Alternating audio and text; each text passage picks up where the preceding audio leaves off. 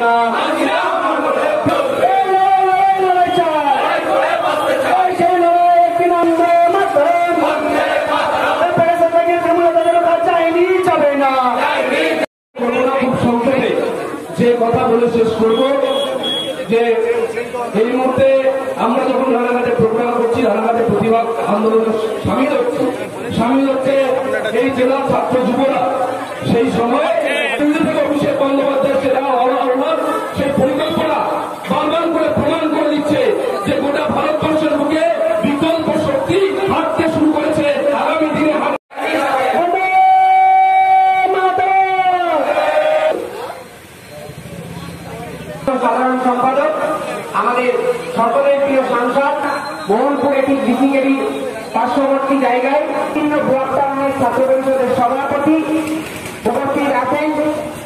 মহাশয় থেকে শুরু করে যে সকল কলেজ টাউন ব্লক শহরের নেতৃত্বরা উপস্থিত হয়েছে সেগুলিতে বসে আমার তাদের নাম প্রস্তাব করছি।